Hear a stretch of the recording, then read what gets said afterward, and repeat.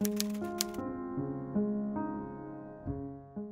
Friends und herzlich willkommen zu diesem neuen Video. Ähm, wie ihr schon im Titel seht, gibt es heute meine Tattoo-Tour oder meine updated Tattoo-Tour.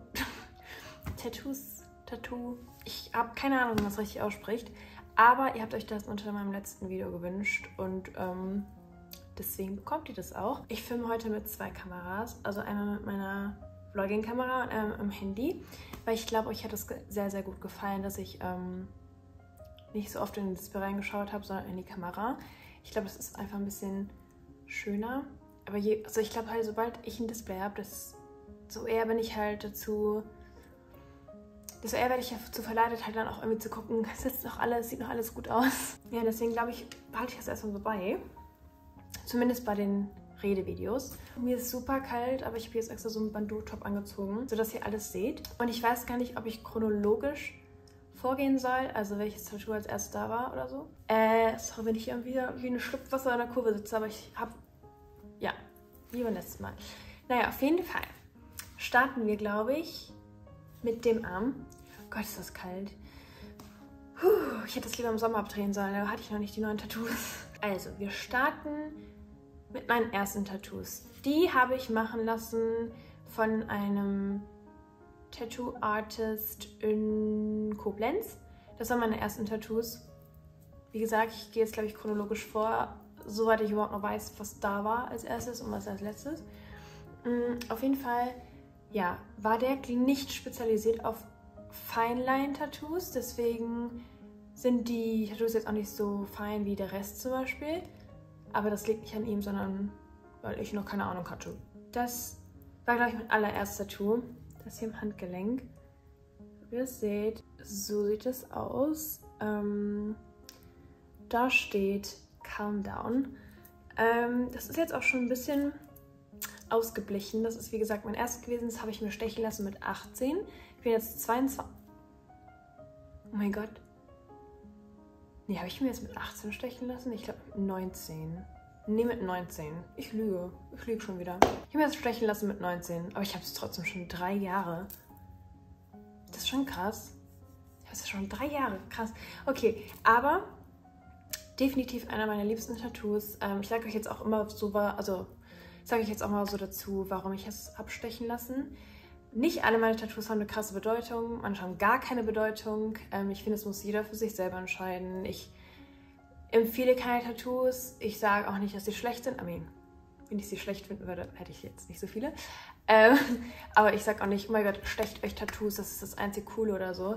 Ich finde, es ist von Typ und von Mensch zu Mensch komplett unterschiedlich. Ich habe ähm, Freunde, die haben gar keine Tattoos und wo ich auch sage, ey, das sieht so geil aus, einfach weil es einfach zu dir passt, dieser, ja, dieser Look ohne Tattoos. Dann habe ich ganz viele Freunde, die haben komplett alles zu, äh, zu tätowiert und ich denke mir so, boah, siehst du krass cool aus. Und so. Ähm, ja, ich, ich glaube, da gibt es kein, kein richtig und falsch. Aber ja, das habe ich mir stechen lassen, weil ich eine Person bin, die manchmal sehr schnell von Panik erfüllt wird. Also wenn mich was stresst oder wenn mich was einschüchtert oder verunsichert, dann erfüllt mich diese Emotion sehr, sehr schnell. Also ich bin dann sehr krass von dieser Emotion eingenommen und kann dann auch nicht mehr so richtig gerade denken. Und ähm, deswegen habe ich dieses Calm Down so als Erinnerung, hey, alles gut. Selbst wenn mal Stress oder so hochkommt oder wenn eine Situation passiert, die einfach äh, vielleicht dich ein bisschen aus deinem Rhythmus und aus, deinen, aus deiner Komfortzone rauskickt, dass du ruhig bleiben kannst und äh, ja, das soll mich daran erinnern und deswegen habe ich das stechen lassen. Dann habe ich mir da auch, da habe ich mir die 1972 stechen lassen. Ähm, das ist das Geburtsjahr von meiner Mama. Und meine Mama ist mit Abstand die wichtigste Person in meinem Leben, war sie schon immer. Und deswegen war es mir klar, dass ich sie auf jeden Fall auf meiner Haut verewigen werde. Jetzt nicht mit dem Gesicht, aber mit dem Geburtsjahr. Und ich habe auch noch ein zweites Tattoo, was meiner Mama gewidmet ist. Aber das später. Und ja, deswegen 1972. Also da gibt es jetzt keine größere Bedeutung oder Begründung zu. Dann habe ich dieses Kreuz hier, falls ihr das seht. Seht ihr das? Das ist das Kreuz. Das ist, wie gesagt, ein ganz normales, stinknormales Kreuz. Ich fühle mich nicht krass zugehörig an irgendeine Religion oder so, sondern für mich ist es einfach ein Zeichen davon, dass ich, dass ich glaube.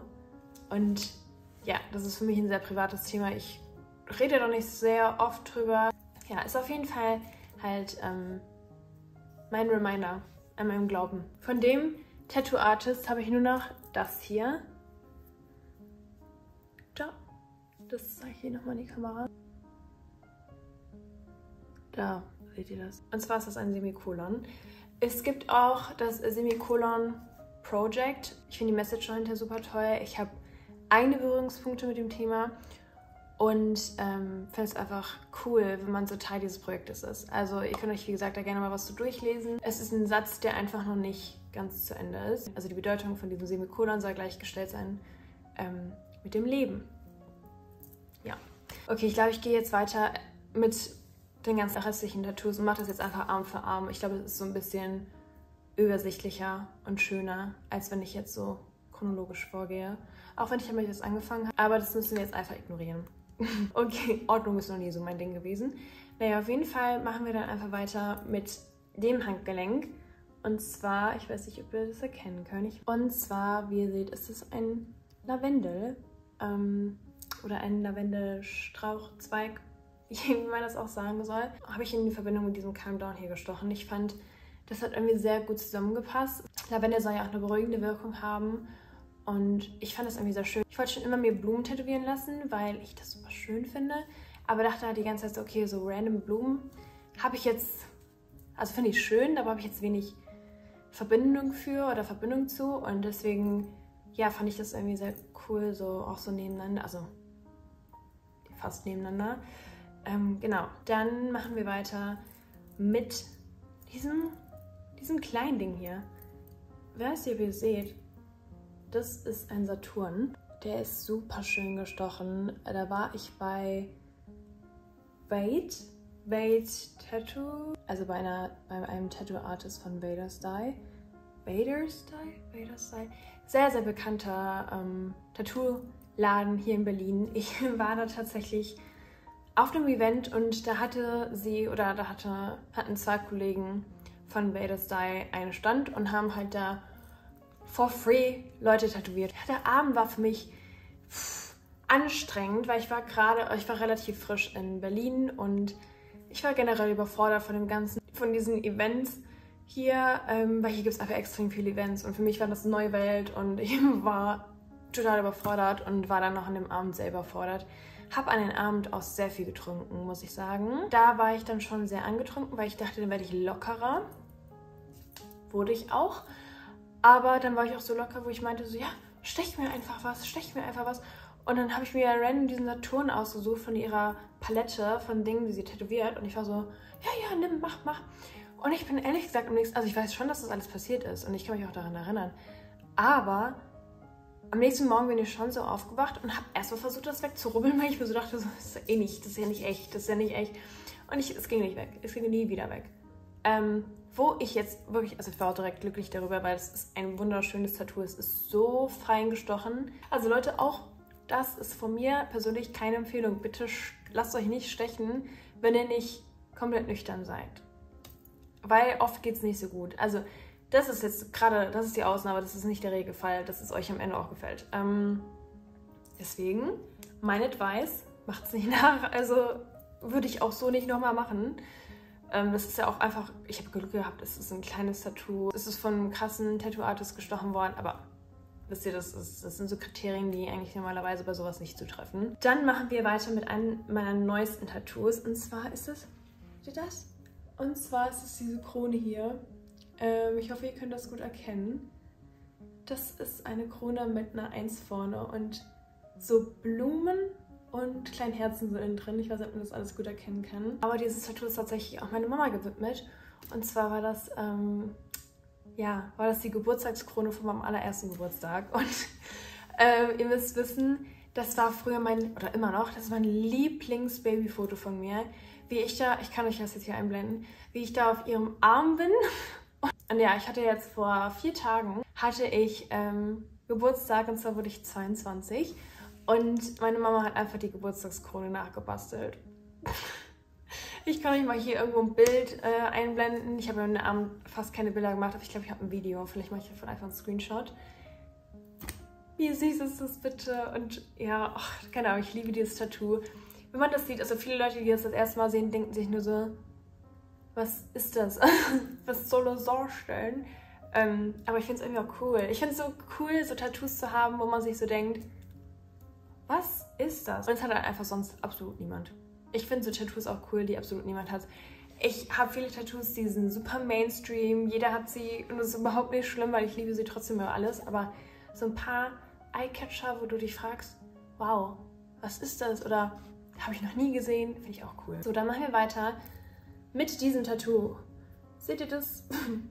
Viele meiner Freunde haben das schon als Zwiebel identifiziert. Aber falls ihr genau hinkommt, seht ihr, dass das keine Zwiebel ist, sondern eine Muschel darstellen soll. Ich habe gar nicht gesagt, woher meine Tattoos sind.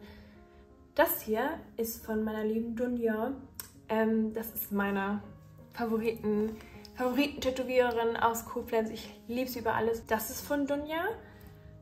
Das hier ist auch von Dunja, also dieser Lavendel. Ich fand die Muschel super cute. Ich bin ein super krasser Wassermensch und ich liebe das Meer. Und immer wenn ich im Meer bin, bin ich irgendwie super glücklich und denke mir einfach nur so... Deswegen habe ich hier die Muschel, äh, Muschel stechen lassen, weil ich die Muschel irgendwie cooler fand als so eine Welle oder so. Weil das fand ich auch sehr Mainstream. es ist beides Mainstream, wenn wir ehrlich sind. Aber die Muschel fand ich super. Zwiebel ist auch gut. Leute, ein bisschen Würze ein bisschen Zwiebeln. Okay, ähm, machen wir weiter mit diesem Tattoo hier, das ich hier habe. Das ist mein nächstes Tattoo. Das ist eine Sanduhr. Die soll dafür stehen, dass man halt einfach die Zeit nutzt, die man hat. Und deswegen diese Sanduhr.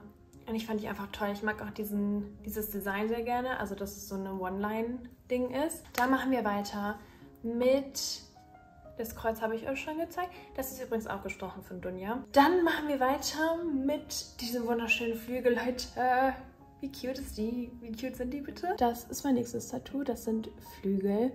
Feenflügel oder normale Flügel, Schmetterling. Wurde schon als alles identifiziert.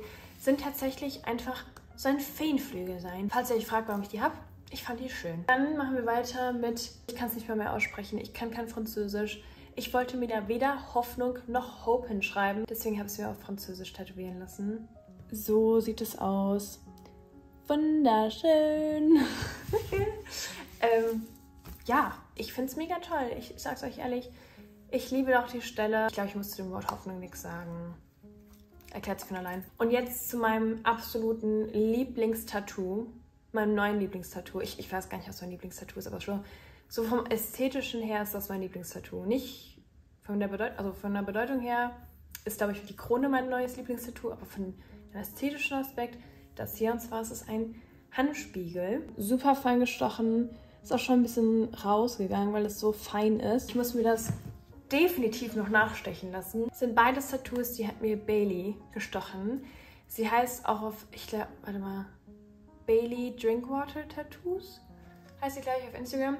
Ich verlinke euch sowieso alles. Ähm, Habe ich ja bei ihr stechen lassen. Leute, sie ist krank. Also ihre Tattoos und ihre Kreativität ist so krank. Also sie, du machst, also du erzählst von deiner Idee und sie wandelt es um in das perfekte Tattoo. Also sie ist so talentiert, Leute. Also es ist einfach krass. Ich finde sie wirklich heftig, so als Privatperson, aber auch als, wie gesagt, Tattoo-Artist. Deswegen, das ist mein neues Lieblingstattoo. Muss, wie gesagt, nachgestochen werden, weil das so fein ist, dass es halt auch schnell rausgeht. Aber ja, ich finde es toll. Ich, ach, guck mal, Leute, wie schön. Ich finde es einfach so toll. Und ähm, es soll halt so ein bisschen für Self-Love stehen, also auch für meine Entwicklung dieses Jahr. Ich habe so das Gefühl, klar, ich sage auch immer wieder, es ist nicht perfekt und ich bin nicht komplett im Reinen mit mir. Ich glaube, das ist, das dauert super, super lange, bis man vielleicht das von sich behaupten kann, wenn man es überhaupt behaupten kann von sich. Ähm, aber dieses Jahr war ein Riesenfortschritt und das soll mich irgendwie so ein bisschen daran erinnern, dass es auf jeden Fall nach vorne geht und dass es funktioniert, dass es funktionieren kann. Jetzt machen wir weiter mit meinem anderen Arm. Ich wusste nicht, dass ich so viele Tattoos habe. Ich sage euch ehrlich, ich wusste nicht, dass ich so viel labern werde oder dass ich so viele Tattoos euch zeigen kann. Äh, machen wir weiter. Und zwar ist es eine Schlange. Das ist das nächste Tattoo. Auch von Dunja gestochen. Es ist eine Schlange, die so ein bisschen um mein Handgelenk rumgeht. Ist eins meiner liebsten Tattoos, hat absolut keine Bedeutung. Wirklich gar nicht. Ich kann euch nicht sagen, was das für eine Bedeutung haben soll. Also Schlangen sind schöne Tiere, aber so die Bedeutung einer Schlange ist ja meistens nicht so positiv, ne? Egal. Schön. Schönes Tattoo, keine Bedeutung, sorry. Dann machen wir weiter mit einem meiner neuesten Tattoos. Achso, nee, nee, nee, nee, nee. Wir machen weiter mit, mit dieser süßen kleinen Note. Tada! ähm, ja, Leute, ich liebe Musik. Das ist einfach nur meine Liebeserklärung für Musik und das war's. Und vielleicht eines Tages bringe ich Musik raus. Spaß. Vielleicht. Who knows? Dann machen wir weiter mit, mein, mit einem meiner neuesten Tattoos. Und zwar ist es dieses kleine Auto hier. Muss nachgestochen werden. Ist aber eins meiner liebsten Tattoos. Ich finde es wunderschön. Hat keine Bedeutung. Viele meiner Tattoos haben wenig Bedeutung oder gar keine. Ähm, Gerade die auf der Seite. Irgendwie, die auf der Seite sind alle ohne Bedeutung. Machen wir weiter mit dem nächsten. Das ist dieses Fragezeichen.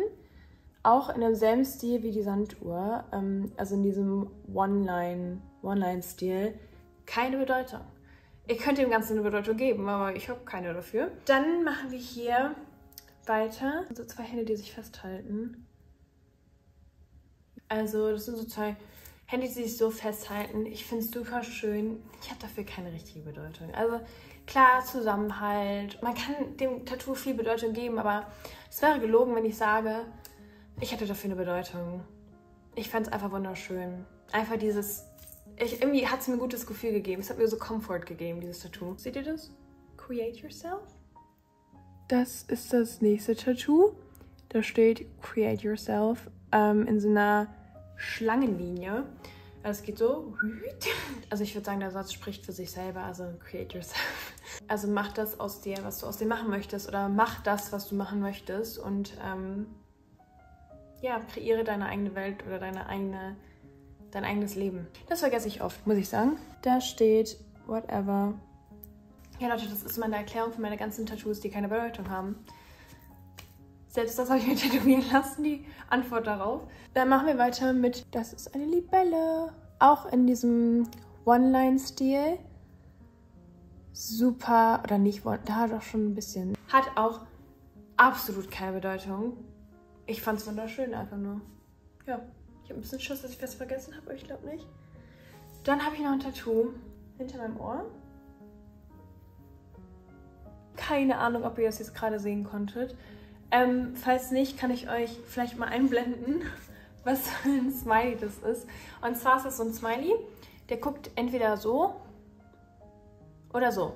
Wie so eine Einstellungssache. Du kannst manchmal, nicht in allen, nicht in allen Situationen, aber oft kannst du entscheiden, hey, wie will ich es jetzt gerade aufnehmen oder wie werde ich damit jetzt den Rest meines Tages verbringen? Werde ich jetzt mich davon runterziehen lassen und scheiße drauf sein oder werde ich sagen, hey, passiert, ich versuche jetzt einfach den Tag trotzdem noch positiv zu meistern, ist wie gesagt, nicht jeden Tag ist, also nicht jeden Tag hat man die Wahl, dass man sagen kann, oh, ja, weiß was, YOLO, ich bin jetzt super, super happy darüber. Manche Ereignisse hauen dich auch aus dem Leben und da kannst du nicht entscheiden, hey, ich bin jetzt vielleicht mal wieder glücklich. Aber es ist eher auf so leichte Sachen bezogen. Also sprich, wenn man so eine klein, so ein kleiner Mist passiert. Ja. Und dann habe ich noch ein Tattoo und das ist hier. Yeah. Seht ihr das? Das ist mein letztes Tattoo. Da steht einfach nur Coco. Coco für meinen ersten Hund. mein allererster Hund heißt Coco und Coco war ein absolutes Wunschkind. Nein, es war, nein, es war wirklich ein absoluter Wunschhund. Ich wollte mein ganzes Leben lang einen Hund haben habe nie einen bekommen. Und dann habe ich ähm, eines Tages Coco bekommen. Und da war mein Leben einfach... Es war einfach toll. Ja, sie sieht auch aus wie eine kleine Kokosnuss, deswegen passt das auch alles. Und ja, das war's schon mit meinen Tattoos. Das sind